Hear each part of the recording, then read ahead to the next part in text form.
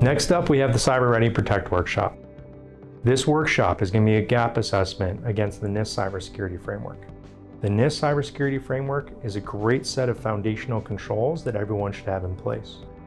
We'll interview primarily your IT team, but also anyone else that you want to bring to the table about where your environment currently stands in relation to each of those controls. We'll customize recommendations for you based on what your specific needs are in order to deliver a route forward in improving your cybersecurity.